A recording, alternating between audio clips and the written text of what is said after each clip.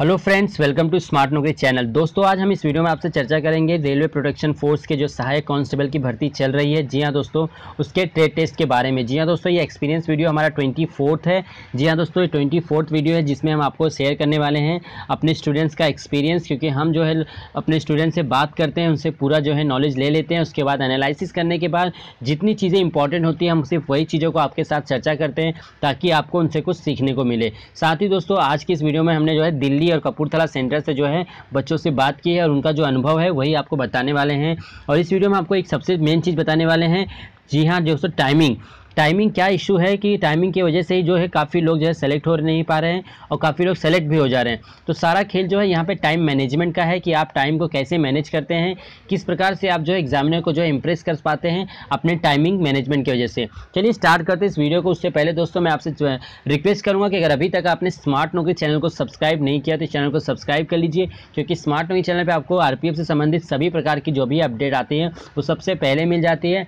साथ ही दोस्तों सरकारी नौकरी संबंधित कोई भी जब नई नोटिफिकेशन आती है या कट ऑफ़ आता है तो हम आपको आरपीएफ पे जो आ, जो है हमारे स्मार्ट नौकरी चैनल पे आपको अपडेट कर देते हैं। तो चलिए स्टार्ट करते हैं इस वीडियो को। तो सबसे पहले मैं दोस्तों आपसे बात करूँगा कि हम लोग स्टार्टिंग से बात करते हैं जो कि हमारा मेन मकसद है कि आपको जो है एक भी जो है डाउट ना रह जाए। जी हाँ दोस्तों हम शुरू से बताते हैं आपको कि आपको जो है सेंटर के बाद पहुँचने पे आपके डॉक्यूमेंट्स क्या क्या लगेंगे ताकि हर एक नया व्यूवर्स जो है हमारे इस वीडियो के माध्यम से उसे पूरी नॉलेज मिल सके। सबसे पहले आपको अपना दसवीं का मार्कशीट तैयार रखना है, उसके बाद आपका एडमिट कार्ड जी हाँ दोस्तों एडमिट कार्ड तो बहुत ही इंपॉर्टेंट है, बिना उसके आपको जो है एग्ज़ाम सेंटर में घुसने का मौका ही नहीं दिया जाएगा। तो ये दो चीज़ें हो गई, अब आता है तीसरी चीज़, जो है आपका कास्ट सर्टिफिकेट कास्ट सर्टिफिकेट आपको रेडी रखना है, वो भी सेंट्रल के फॉर्मेट में। चौथी चीज़ है आपके पासपोर्ट टाइप फ़ोटो जी हाँ दोस्तों फ़ोटो भी होना बहुत अनिवार्य है आपको, बिना फ़ोटो के भी आपको अंदर जाने नहीं दिया जाएगा। अब आ जाते हैं हम अपने आइडेंटिटी कार्ड यानी आईडी कार्ड के बारे में। तो आईडी कार्ड में आप अपना आधार कार्ड रख सकते हैं वोटिंग कार्ड रख सकते हैं ड्राइविंग लाइसेंस रख सकते हैं। जो भी आपके पास अवेलेबल है, आप लेकर जाइए। उसके बाद ही जो है आपको हॉल में प्रवेश दिया जाएगा। जी हाँ दोस्तों तो हम स्टार्ट करते हैं इस वीडियो को। सबसे पहले मैं ये बता दूँगा कि आज जो है चार सौ से लेकर साढ़े चार के आसपास जो है स्टूडेंट्स आए हुए थे। अब इस साढ़े चार सौ स्टूडेंट्स को क्या है डिवाइड किया गया है बीस बीस के बैच में। जी हाँ दोस्तों, हमने दिल्ली और कपूरथला सेंटर से बात की तो उन्होंने यही बताया कि सर, आज भी जो है साढ़े चार सौ, पाँच सौ के आसपास लोग आ रहे हैं तो ये बीस बीस की जो है बैच में डिवाइड कर दिया जाता है। बीस बैच के बैच में डिवाइड करने के बाद जो वहाँ पर ऑफिसर होता है, वो क्या करता है, आपको स्टार्टिंग से जो है नंबर दे देता है। जी हाँ दोस्तों, अब आपको पता है कि 400 लोगों की संख्या बहुत ज़्यादा है। अब इनको 20 में डिवाइड करने के बाद काफ़ी बैच बन जाती है। तो इन्हें batch number one two three four five, इस प्रकार जो एक नंबर दे जाता है और हर बैच में आपको 20-20 स्टूडेंट को रखा जाता है। अब आपका बैच नंबर सिक्स है, सेवन है, एट है, इस प्रकार जो है तो हमारे स्टूडेंट्स का जो बैच नंबर था वो था सेवन, जी हाँ दोस्तों, सेवन बैच नंबर था तो उन्होंने बताया सर जब सेवन बैच का नंबर आया तो हमें क्या है, एक लाइन से खड़ा कर दिया गया। उसके बाद जो है एग्जामिनर के जो हॉल बना था, जिसमें जो है ट्रेड टेस्ट चालू था जहाँ पे, वहाँ जाने से पहले हमें जो है, एक राउंड से गुजरना पड़ रहा है, वो है मसाले। जी हाँ दोस्तों, मसालों के नाम जो है हमसे पूछे जा रहे थे, सर, वहाँ पे जो है टेबल था, उसके ऊपर रख दिए गए थे सारे मसाले। और एक एक स्टूडेंट से जो है एग्जामिनर पूछ रहा था कि ये मसाले का नाम बताइए, इस मसाले का नाम बताइए, इस मसाले का नाम बताइए। अगर आप एक भी मसाले का नाम चूक जाते हैं या नहीं बता पाते तो आपको वहीं से जो है बाहर का रास्ता दिखा दिया जाता है कि आप जा सकते हैं, आप जो है एलिजिबल नहीं है। तो सबसे पहला राउंड तो ये हो गया। और दूसरी चीज़ बताते हैं कि सर वहाँ पे वेजिटेबल्स के भी जो है बकेट रखे गए हैं। तो वहाँ पर भी जो वेजिटेबल्स हैं, उनके बारे में भी पूछा जा रहा है कि इस वेजिटेबल का नाम बताइए, इस सब्ज़ी का नाम बताइए। तो इस प्रकार अगर आपको वेजिटेबल्स और मसाले दोनों के नाम अच्छे से प्रॉपर नहीं पता है और आपने वहाँ पे मिस्टेक किया तो आप सीधा वहीं से बाहर हो जाएँगे। तो पहला राउंड अपना ये क्लियर कर लीजिएगा कि आपको मसालों के नाम रट कर जाना है। अस्सी प्रकार के मसाले भारत में पाए जाते हैं। जी हाँ दोस्तों, अस्सी प्रकार के मसाले भारत में ही पाए जाते हैं। तो ये अस्सी प्रकार में आपको जाता है कि अस्सी के अस्सी वहाँ पर नहीं पूछे जाएँगे। तो आप जो मेन मेन मसाले हैं उन्हें पढ़ लीजिए। मैं तो कहता हूँ, अस्सी के अस्सी एक बार आप रिवाइज कर लीजिए, देख लीजिए कैसे दिखते हैं, ताकि आपको वहाँ पर डाउट ही ना हो। अगर उन्होंने मसाले चेंज भी कर लिया, जो ट्रेंडिंग में मसाले होते हैं जो इंपॉर्टेंट यूज़ किया जाता है मोस्टली वही पूछे जाते हैं। बट आप एक बार रिफ्रेस कर लीजिए कि अस्सी के अस्सी मसाला जो है गूगल पर जाकर सर्च कर लीजिए या फिर आपको बाहर जो है मार्केट में पाँच रुपये का चार्ट मिलता है। जी हाँ दोस्तों चार्ट पेपर आपको पता होगा जिसपे सारे फूल्स के नाम लिखे होते हैं ए बी सी डी लिखा रहता है, उसी प्रकार जो है मसालों के जो है नाम लिखे होते हैं। तो वो मसालों को आप वहाँ से भी देख सकते हैं, या फिर आप किसी शॉप में जाइए, किसी भी शॉप में आप जाइए, वहाँ पे शॉपिंग करने के बहाने आप सारे मसालों के नाम देख लीजिए, वहाँ पे लिख के लगाया रहता है बकेट में, या फिर अगर आप भरनी में देखेंगे तो भरनी के ऊपर जो है चिपकाया रहता है कागज़ पर लिख इस मसाले का नाम यह है, इस मसाले का नाम यह है। तो ये हो गए आपके मसाले और वेजिटेबल्स के नाम। तो आप इस प्रकार इन चीज़ों को तो आप अच्छी तरह से एग्जामिन कर सकते हैं, इसे अच्छी तरह से पढ़ के तैयार कर लेना। अब बात करते हैं अंदरगत की।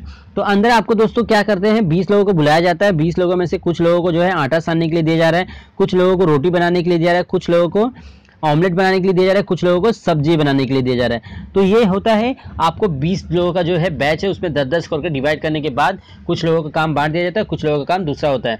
तो यहाँ पे हमारे जो स्टूडेंट्स का था, वो था आटा सानने का। अब हम बताते हैं आपको आटा सानने के लिए जो है, एक खोरी आपको आटा देते हैं छोटी सी, और उसको देते हैं आपको एक मिनट का समय। जी हाँ दोस्तों, एक मिनट का समय आपको दिया जाएगा कि उस आटे को आप एक रोटी ही बनाना है आपको, दस रोटी नहीं बनाना है। दोस्तों तो एक रोटी आटा बना, जो आपको दिया जाएगा एक खरुई, उसको जो है सौ ग्राम आप समझ सकते हैं, सौ ग्राम के आसपास होता है। तो सौ ग्राम का जो आपको आटा मिलेगा, वो एक मिनट का आपको समय दिया जाएगा कि आप उस रोटी को, उसे रोटी बनाने योग्य बना सकते हैं। यानी कि आपको उसको सान के तैयार रखना है ताकि आपके हाथ गंदे ना हो। आपको पता है, जब आटा सानते तो आपके हाथ में पूरी तरह से चिपक जाता है आटा। तो उस चीज़ को आपको ज़्यादा फोकस करना है कि आपके हाथ जो है साफ़ रहें, क्योंकि इसको एक ही मिनट का आपके पास सेकेंड जो है आपके पास मिनट है। जी हाँ दोस्तों, आपको पता है सिक्सटी सेकेंड है आपके पास। और सिक्सटी सेकेंड्स में जो है आपको सौ ग्राम जो है आटा जो है, आपको जो है रोटी बनाने लायक उसको तैयार करना है। तो ये जो है चैलेंजिंग काम है दोस्तों। तो इसे क्या होता है, हमारे स्टूडेंट जो हमसे शेयर किया गया सर, वो जो है स्टूडेंट्स हैं, वो हॉस्टल में रहते हैं, मोस्टली वो जो है अपने घर पे है, वहाँ पे खाना खाते थे तो उन्हें इतनी प्रैक्टिस नहीं थी, जिसकी वजह से उन्हें काफ़ी दिक्कत हुई और उनका शायद जो है सिलेक्शन सिर्फ़ इसी वजह से नहीं हो पाया कि उनकी इतनी अच्छी प्रैक्टिस नहीं थी। जी हाँ दोस्तों, उनका भी सिलेक्शन नहीं हुआ, आप सभी को पता है, यहाँ पर 400 से 500 स्टूडेंट्स में से सिर्फ़ 10 और 12 स्टूडेंट्स होते हैं, जिनका जो है सिलेक्शन हो पाता है। तो आज भी जो है हमारे स्टूडेंट्स का सिलेक्शन नहीं हो पाया इस स्टूडेंट का भी तो इनका काफ़ी खेद है, लेकिन इन्होंने बताया कि उनकी कमी क्या थी, जिन कमियों का आपको सुधारना है। तो हमें कमियों से ही सीखना है दोस्तों तो हम इन कमियों से ये सीखेंगे कि हमें जो है एक मिनट में अपने घर पे। जी हाँ दोस्तों, आज से ही, अभी से ही मैं तो कहता हूँ, जितने भी स्टूडेंट हैं, जिनका भी ट्रेड बाकी है, यानी कि अगर आपका ट्रेड बाकी है, दो दिन बाद है, दस दिन बाद है, महीने भर बाद हो, आपको क्या करना है, आज से ही एक मिनट का जो है चैलेंज लेना है। आप अपने मोबाइल फ़ोन में टाइमर ऑन कर लीजिए। जी हाँ दोस्तों 60 सेकेंड्स का आप टाइमर ऑन कर लीजिए और 60 सेकेंड्स में आप एक खोरी, यानी 100 ग्राम आप आटा जो है, वज़न कर लीजिए या फिर छोटी सी खोरी लेकर 100 ग्राम आटा ले लीजिए और उसे आप सानने के योग बना लीजिए कि वाकई एक मिनट में आपसे चैलेंजिंग काम हो पा रहा है या नहीं।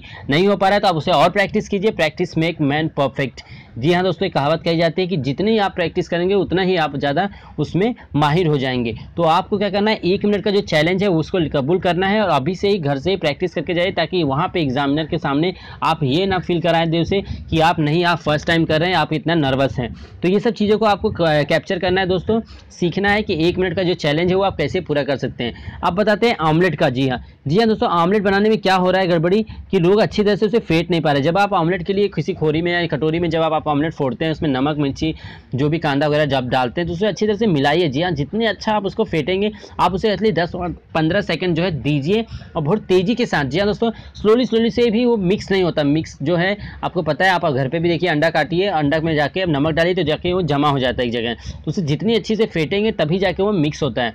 तो ये चीज़ें जो है, आपको ज़्यादा ध्यान रखनी है। उसके बाद ऑयल आपको लेना है तावे पे डालने के बाद जो है, उसको तरीके से चारों तरफ़ फैला दीजिए, तावे को अच्छी तरह से घुमा घुमा के, ताकि जो है ऑमलेट कहीं पे चिपके ना। जहाँ पे अगर तेल नहीं लगेगा दोस्तों, वहाँ पे ऑमलेट चिपक जाता है और वहीं से ब्रेक हो जाता है। जिसकी वजह से काफ़ी लोगों का सिलेक्शन सिर्फ़ इसलिए नहीं हो रहा है कि आपका ऑमलेट देखिए टूट चुका है। अब आप खुद ही समझ सकते हैं कि आपका सिलेक्शन होगा या नहीं होगा।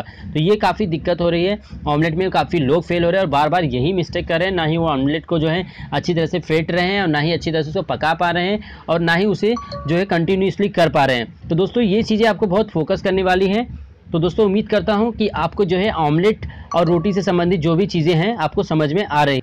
अब हम बात करने वाले हैं दोस्तों सब्ज़ी के बारे में। जी हाँ दोस्तों, सब्ज़ी बनाने में क्या हो रहा है कि सब्ज़ी जो है कटिंग ही करने पे काफ़ी लोग जो है फेल हो जा रहे हैं। लौकी की सब्ज़ी दी जा रही है बनाने के लिए तो लौकी को लोग काट नहीं पा रहे हैं। जी हाँ दोस्तों, आपको मैंने काफ़ी जो है वीडियोस में बताया भी और ऑलरेडी जो है आपने काफ़ी वीडियोज़ देखा भी होगा कि लौकी को कैसे काटा जाता है। जी हाँ दोस्तों, आप लौकी को इस प्रकार पहले काटिए, उसके बाद जो है इस प्रकार देखिए कैसे मैं काट रहा हूँ आपको डायग्राम में।